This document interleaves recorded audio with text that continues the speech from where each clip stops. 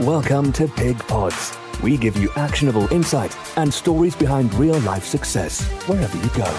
Here are your hosts, Angelos and Mo.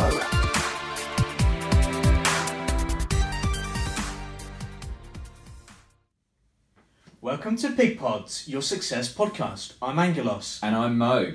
Angelos, I'm really excited today that we are discussing management versus leadership, which is something I love talking about and is something that we're constantly trying to think about and improve on in our businesses. So let's start off by defining management and leadership. So, management is defined as the process of dealing with or controlling things or people. And leadership is defined as the action of leading a group of people or an organisation. So, you need both kinds of people in any organisation, but generally, lead, leaders need to be at the top and managers in the middle or the bottom, although you need some leadership at every level. Okay, so let's go through. Uh, let's go. Let's break them up and go through. Firstly, how to be a better manager, because, like you say, you need both managers and leaders in an organisation. So we'll go through that, and then we can come on to how to be a better leader. So if you're at the top of the organisation, or you're in a leadership role, or if it's your own business, then maybe you need some some of those tips there. So let's start with how to be a better manager, if that's what your job entails. Um, and I think the way we like to think about this is think how would, how you would like to be managed. So think back to if you had a job before, or if you're in a job now. Um, you might be the manager of people, but you might also probably be managed by someone as well. So the people that you manage, they don't want to be micromanaged, do they? Definitely not. I mean, it, I just want to be left alone Yeah. and get on with my work. I don't need. Um, Yeah, you, you want to know you want to know what the remit of your job is. You want to know what the you know the outcomes are, what's expected of you by when, etc. To be communicated to really effectively. So to, to understand what you've got to do and by when, but you don't want to be micromanaged as to how you do it. So I think that's a really important one for, for, for management especially. You want clear timelines for your work. So again, back to the communication point, you want to know how long are you expected to take doing a certain task, or how long is something you know when is something due in by if it's a bit of work. Um, and you want clear objectives and you want outcomes for the required work that you've got on. And I think the other thing is you want to understand the prioritization of various types of work. So you're probably not just going to have one thing that you sit there and do all day. You've probably got a load of different things, and then new tasks might come in during the day. So to actually understand the prioritization of those in the business and how your manager uh, has perceived what's more important than, than, than other things, um, then that lets you actually work on what's most important to the business, right? there's nothing worse than you have five top priority tasks. Which one do you do? And then in the end, you you you are not going to do the one that is the correct one for your manager. So if you do need, if there is a little bit of confusion, then seek clarification from your manager. Get Yeah. get an idea. What is most important for him for me to finish? Yeah. Um, and if you are a manager, just make sure you're really clearly communicating prioritization clearly and having re- uh, checking in regularly because it changes, doesn't it? As the business kind of business changes, the prioritization of things changes. What's important one week might not be important the next week. Uh, you want some level of autonomy. So if you are being managed, you want some level of, of autonomy. If you're a manager, you should allow some level of autonomy, but you do need a fairly rigid kind of framework within that. I think this is where we're going to talk about the difference between management and leadership. Is leaders probably give a lot, a, lot, a bit of a broader remit for, for what needs to be done because they're putting a lot of trust in the in the person. But the management, it may be more in a role where you have to say, you know, this needs to be done within this certain time frame, and you know, but there is some level of autonomy that the person can get on and do their own work. And I think with management, there's an expectation that if they deliver, they don't get hassled. So, sort of back to the autonomy thing, you don't want to be hassling them. If you're a manager, you don't want to be hassling them all the time. If they've, uh, as long as they're getting on with the work and uh, you know achieving it in the times that, that you've set out, you, do, you don't want them to be hass- hassled. And finally, I think um, there's an expectation of some kind of praise or recognition for a good job. And if you're a manager, you should definitely think about that. Um, you know, they say people, a lot of people are motivated more by kind of recognition for the job and and uh, praise than they are like monetary rewards. I know everyone thinks like, oh yeah, but it's about the money. But actually, a lot of the time with monetary incentives, it's not the money that that that gives people the enjoyment. It's the hitting a target and the goal and being praised for it. And then obviously the money is a nice bonus, but actually it's the hitting the target which is the thing. So if you're in a management role, then make sure you're even if it's not monetary, you're giving some kind of praise and recognition for a good job. A lesson I learned um, in, in a previous job was that if employees keep leaving, don't necessarily look at the employees, look at their manager. Yeah, yeah, And that's really norm- good. Normally, that's Yeah. where it stems from. So, well, you've covered what manager is, but let's Yeah. have a look at how to become a better leader. Okay. So, leader we, we know is someone that has to lead, who has to encourage, who has to really push and drive um, people Yeah. and the and the business. So, you want to encourage those um, that you lead um, to come up with ideas. Yeah. Make it an open door Mhm. policy to come in, even if it's really controversial. You think it's not necessarily um, going to be adopted. Encourage that environment so you have discussion. You don't want a leader who's sitting on an ivory tower just Yeah. oblivious to what's going on And within the company. And, and I think that's a really good point because the people that are in the teams are going to be closer to the work that's actually happening. They're going to be closer to the customers, the suppliers, and they've probably got a really good idea. You know, not everything will be a great idea, but they'll probably come up with some gems in terms of how to increase efficiency, how to increase service, to reduce cost. So definitely worth yeah having an open door policy for those kind of ideas. I think this is a really important point, probably the most important point in my view, is lead by example. Yeah. Be in the trenches with the people. Just because you are the managing director or the CEO of a company, get down there, get dirty, have a look and see what's going on on the shop floor. Have a look and Mhm. see what's going on. Interact with customers. Yeah. Get an idea of how the customers feel about your business, and then you will know one hundred percent whether the managers who are feeding up information to you are in tune with what the customers are saying. Develop people, invest in them. They are your best asset. Yeah. Definitely. People say um, that customers are your best asset. Absolutely not. I say it's the it's the people that work for you because they ultimately are the people that are going to be pushing out and saying how great your company is.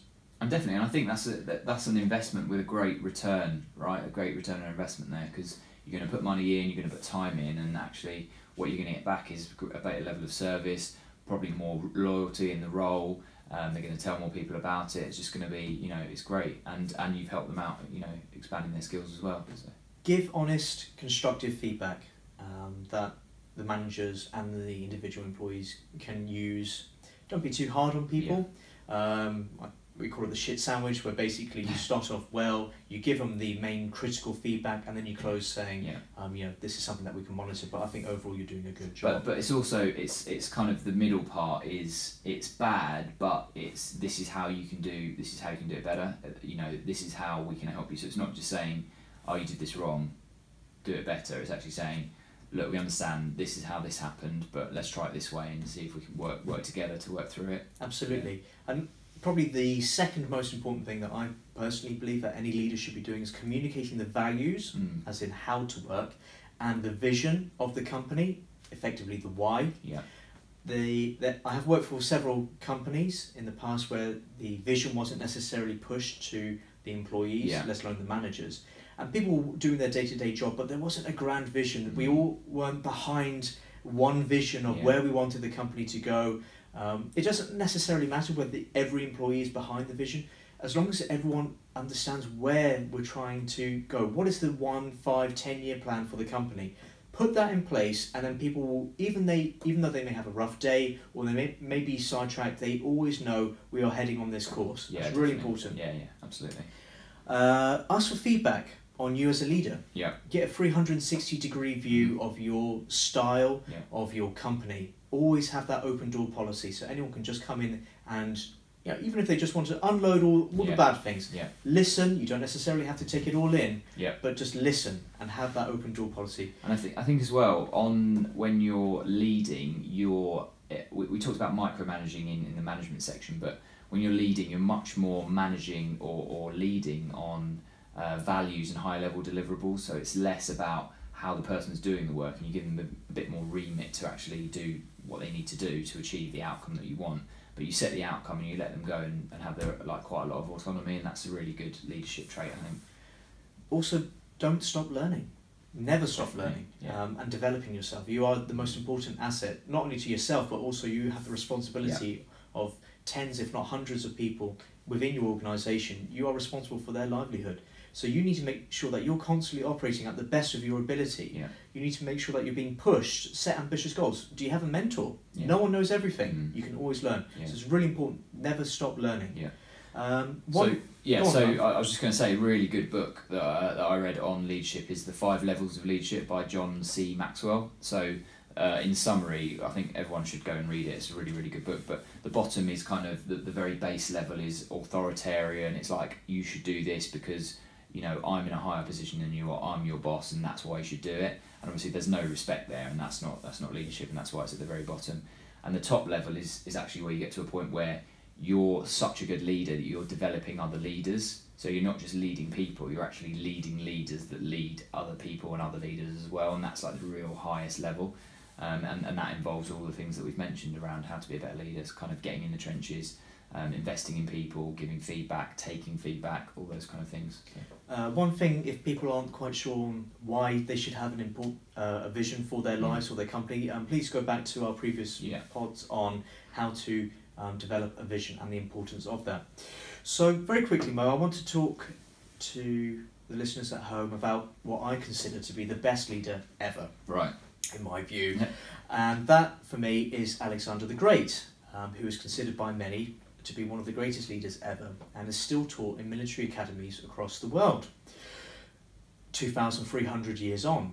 So, not only at the age of 32 had he conquered most of the known world, bringing with him his Greek stroke Macedonian army far from their homes, he brought down the greatest empire ever known whilst fighting far from home within a matter of a few years. He never lost a battle, of which he had many, many battles, and always led from the front. He was tutored by Aristotle, one of the greatest philosophers ever, and maintained a passion for learning and culture throughout his life. And I just want to share a very quick story about Alexander the Great, um, just to prove the point about how resourceful, how great he was as a leader. So he had a very stubborn town, shall we say, on top of a mountain, Yeah. and the populace of the town wouldn't come down, they wouldn't surrender. Alexander needed to conquer them because it was part of his, his plan. And this mountain was unscalable. No one had ever scaled it. The townspeople were very confident that they were very safe Yeah. and they could just bide their time till Alexander got bored and, and went away. But Alexander's not one to, to give up, and so he gathered some men and he encouraged them and said, I want you to scale this unscalable mountain, and I want you to do it not only in these impossible conditions, but I want you to do it at night. Mm. And I want you to climb to the top, and I want you to look down on the townspeople and give a signal to show that you have achieved this um, this goal. And so they clambered up the, the mountain in darkness. They lost ten percent of their their soldiers, Mm. and they achieved it. And in the morning, Alexander the Great he told them that we have these men above you. Look above. We have effectively conquered you. And without even a single person dying, except the people who fell sadly to their deaths, within the town, Mm. um, no one was killed. There was no battle. It Yeah. was literally a, a no death um, conquer. And I just think sometimes, yes, we can go in there heavy handed and whatever else, but sometimes just stepping back Yeah. as a leader should and just Mm. viewing the whole situation, using our brains sometimes Yeah. can achieve a lot more um, than just what our gut initial reaction So, tells us. so what did we learn from Alexander? So he led from the front, So, definitely. So you represent the business if that's a, put into a business context. You represent the business. You set the standard. And that's absolutely what he did. and you set the, the vision. Yeah. You know, what do I want you to do? Do I want Yeah. you to scale a mountain or Mm. do I want you to achieve an extra 20% of sales Yeah. this, this year? Yeah. Having great ambition.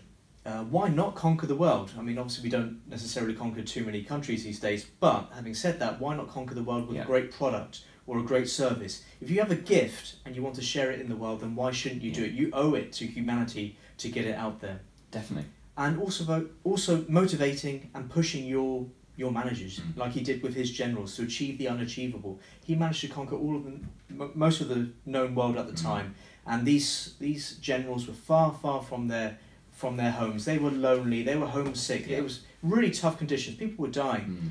but he still again and again managed to motivate them. And this is what you need to do, even through the tough times in your company, and you will have them Yeah. you need to be able to inspire your managers Yeah. and keep them going. So, you know, don't forget that uns- unscalable mountain. Yeah, no, it's a really good, yeah, good story. Um, so, in summary, leaders develop people, but managers want to control. And actually, like we said, sometimes that's all right. They both have their place in business. Um, but the, as the leader of your own organisation, you need to display more traits of a leader and probably less of a manager.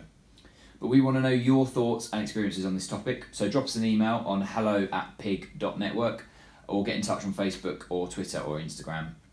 So thank you for listening for uh, at Pig Pods, your success podcast. Click subscribe, leave us a review, and we look forward to your comments in the Pig Pod Facebook community.